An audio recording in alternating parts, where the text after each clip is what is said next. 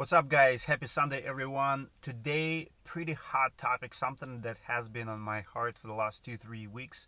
It's Sunday. You get to see me uncut. I say it how it is. My videographers don't get to cut me, to edit, to add a B roll. This is just pure sharing of information. I'm going to share a couple behind the scenes information from last couple of videos, Eric Reno and a few others. We're going to talk about Graham Desert, owner of Roofing 101 company that just filed bankruptcy recently.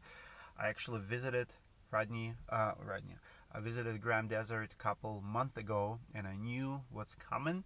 Uh, I already knew that he closed few locations. We actually interviewed him, and you'll see that interview be- before he files bankruptcy.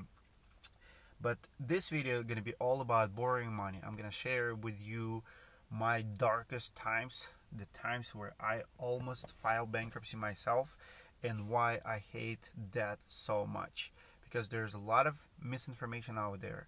Uh, this debate that I have with Mr. Lee Haight probably will never go away. Uh, Ponzi scheme, how I call it. So many of you disagree with me, and that's fine. This is how I call it. Like Robin Peter to pay Paul, for me, it's form of Ponzi scheme. I understand it's not clear definition, and for you, if you're proud of Robin Peter to pay Paul, if you call it investing in your business and leverage that, up to you. But this is my channel, and I share different stories. I share my vision on everything, and you don't have to agree with me. But one thing I want to start with is so often I see comments um, that uh, you know so misleading comments themselves misleading. A lot of times my purpose is not to argue with you. My purpose is not to say this is the right way or highway. My purpose is to share with you uh, information and to draw the picture that there is the other way. It's not the only way. I'll give you example. A couple weeks ago i did a video on uh, asking a question do you really need 50% down payment?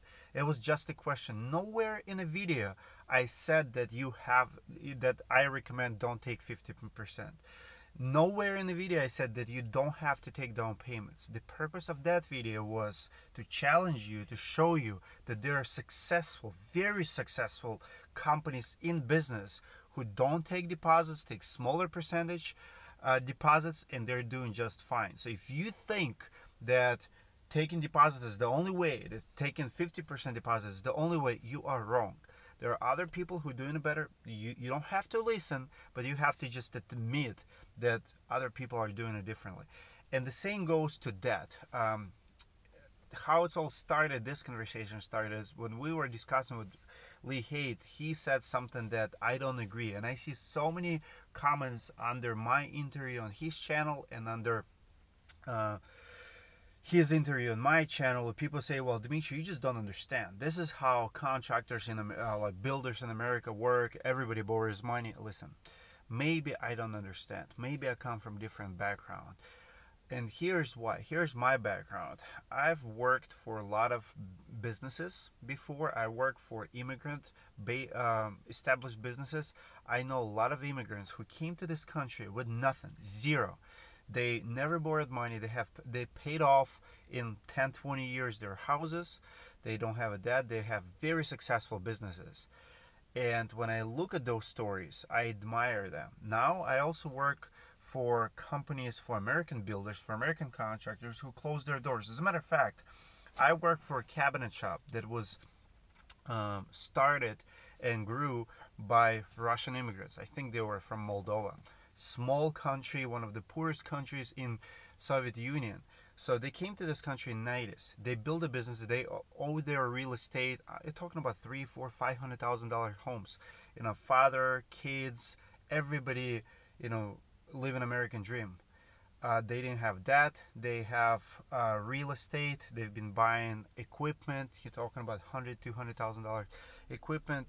I worked for that business, and they were super successful, and I, you know, admire them. Um, after that job, I went to work for American contractor.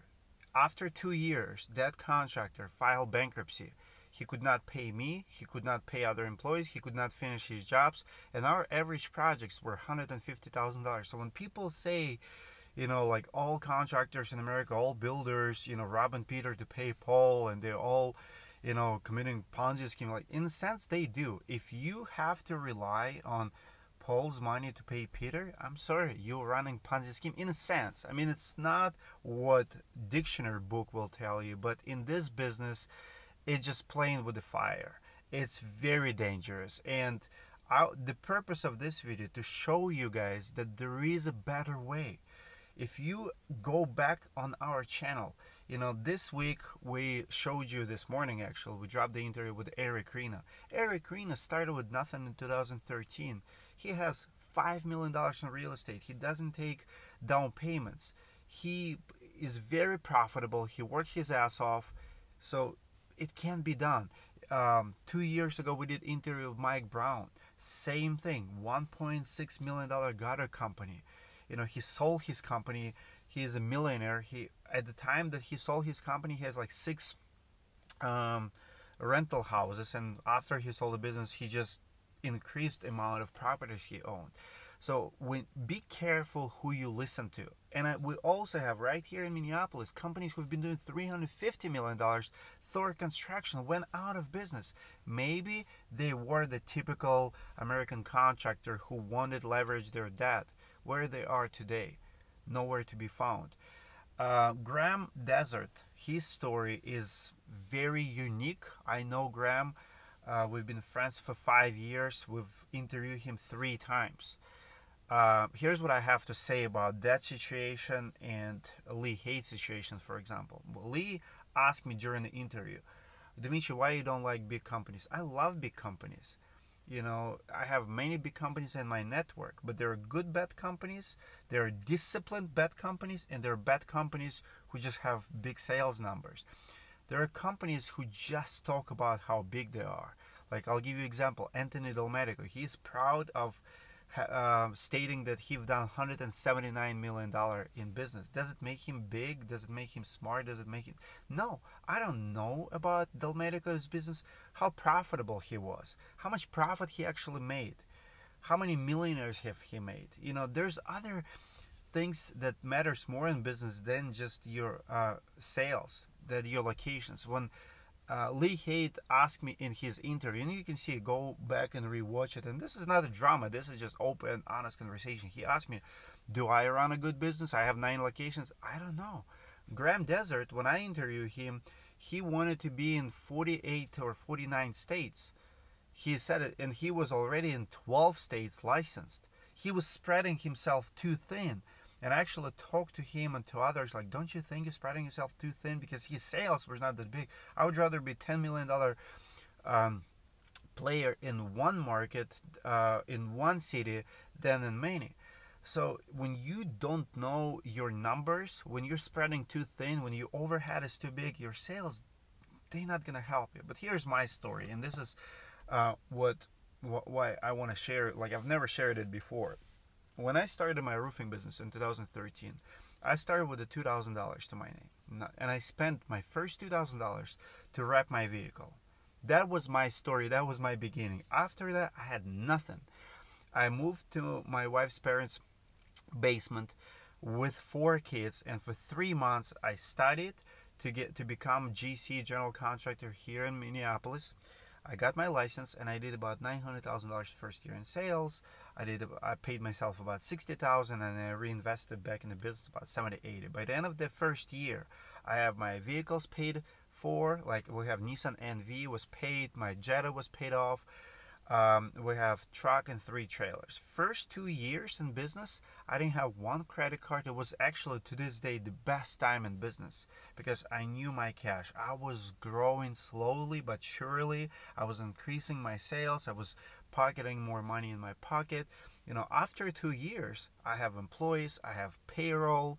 Um, I have paid off vehicles. I have three dump trailers. You know, we look like bigger company. We were a bigger company. We have a couple of hundred reviews online not a single account even with the supplier. And i remember how i opened my first supplier account.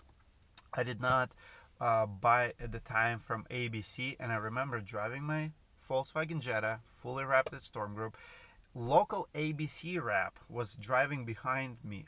He called me he's like uh, is this Dimitri? I'm like, yes. I just saw you in a highway driving behind you, and I looked up at our records, and you're how come you're not buying from ABC Supply? And um, he asked to buy me lunch. We met, and he said, well, how much you buying this year? And I told him, you know, I was already buying like half a million, six hundred thousand dollars worth of material per year. He said, what if we open your credit line? And what if you, uh, you buy from us and he give me prices and stuff? Up until that point and this is end of year two i didn't have a credit line. I didn't have nothing. It seems just normal right? You know you have 2% back. So i started doing it. You know every month i would pay off like 30000 50 60 at the end of the year i got in trouble because it's another beast to manage and season ended. We couldn't collect all the jobs on time just was in a hole, spent all my cash on something else, maybe bought some trailers, not on myself, but on the business expenses. And I remember first time I got in trouble. I'm like, what did I do? So now I have to pay eighty thousand dollars. It's just stack up fast, and I I had to go and collect it. And I remember amount of stress I have to go through. I made it happen. You know, I paid off ABC. Nothing bad happened. I never filed um, bankruptcy but uh, I started borrowing money. It was the begin- beginning of the end for me. Two years later, when we were way bigger, storm came. Um, you know, we, we, were managing several of those cars. Like people were stealing from me, and I got in the hole. I remember at one point we had three hundred sixty thousand dollars in debt. It was overwhelming, and um, I remember my accountant says like, "You might."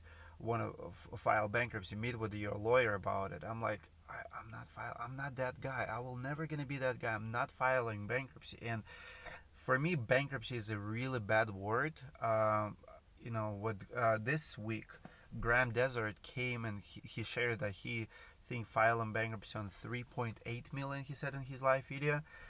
Um, you know, I admire guys like that. I admire guys who can move forward and admit their wrongs and to me, Graham is one of the best guys in the industry. But like all of us, you will make mistakes, and I hate that. Like I hate it with passion. Um, you know, my every like there's a lot of purchases in business and personal that it makes sense. You know, you don't have to lecture me how it makes sense to buy cars. I know the tax law. I know the write-offs. Like all of it, yes but I also see and study businesses, and those businesses who don't rely on that, who don't have buy into this popular message, leverage that. People who stay humble, pay themselves less than they can or should or whatever, live beyond their means. Those people usually more successful, and this is just facts. And those are the people I admire. They are humble. They have huge savings. They have uh, very good sense of business. And people who love to borrow debt they usually show off. They usually will tell you how much money they make. It's all about like these big numbers and the amount of locations and the amount of cars they have and the amount of employees and all of that. And my answer to it it's not over until it's over. You know sometimes you can like i was reading story of um, Thor Construction, $350 million company that lost it all. That bubble sooner or later will burst. And it can happen at 50 million, it can happen at 100 million or 500 million. Dixie Home Improvements back in the day, they were 500 million dollar company. Nowhere to be found today. So you're never too big to fail. And if you love that, that you are playing with the fire. Okay? Uh, there are a lot of good companies in this business who have that and they truly leverage it, but it takes financial discipline. It takes a lot of knowledge, and not many people can do it. And I would say, average Joe in this business will lose his business if he start borrowing too soon, pay himself too fast. Like that is not your friend. It's a tool, but you have to know how to use that tool. Again, I follow different people, different mentality. Uh, you know, I'm not a Dave Ramsey guy to the core. I definitely have my credit cards and I definitely have my loans and you know but my average car is paid off within a year and a half i borrow money to buy cars because it's a smart thing to do to have you know you go in like the car i'm sitting right now is $50000 car and i'm probably to pay it off in one or two years just if i have extra cash if i want to buy something else i'll go like most of my i have really fancy mercedes benz in the past and i would get a sixty seventy thousand dollar loan and then within two years so just you know what? I don't want a payment. And car drives different when it's paid off. It's just a fact. So if you can leave you know paying for things as you go if you can build a business without borrowing money it'll be better business. That's my advice to you today and when i hear people say no all the big builders and this is the industry standard it's not industry standard I can show you so many examples. I'm so glad we did Eric Rena interview. It was just perfect timing because you can look at guys like Eric Rena and say like, okay, I want to be that guy, or you can be, you know, like roofing 101 Graham Desert. He's a great guy. He tried and he's not a bad guy. He did not do nothing wrong, and but he still filed bankruptcy, and it's painful and it's hurtful, and he probably done mistakes, and we should learn from those people and those mistakes, uh, because because of people like Graham, we know the problem is real, the risk is high, and it could happen to anyone. If guys like Graham Desert can file a bankruptcy, and he is good, like he's disciplined, he's solid dude, but if guys like Graham couldn't manage money, couldn't manage that, couldn't manage like I mean, it's probably more than that, and there's more lessons from that story. And can't wait to share with you what happened to Roofing 101, but just be careful who you're learning from. Be careful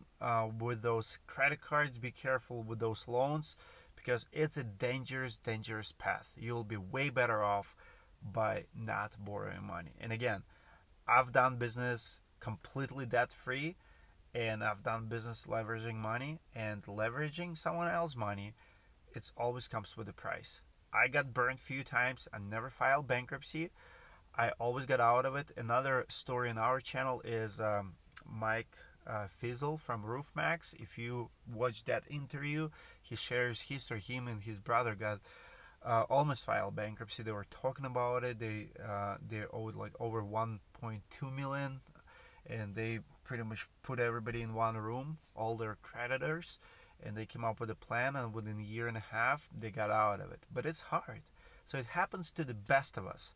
But talk to smart people, way smarter than, than you are. And next time you want to give someone advice, always look at other spectrum. Just because your mentor says borrow money, go take it two, three hundred thousand. I mean, look at what happened at PPP loan. You know how many people went to jail because of PPP loans? You know, because they're misused it or listen, throwing money at the problem does not fix everything. You know, increasing sales, sales don't fix everything. It's financial discipline. Comment below what you think. If you love that, if you hate that, I want to hear from you. And again, for me, robbing Peter to pay Paul is the worst idea in business. I don't call it smart, don't call it leverage. It's you're not leveraging anything. You're hostage to your debtor, like you're a slave actually, as the Bible says. So, so I don't want to be slave.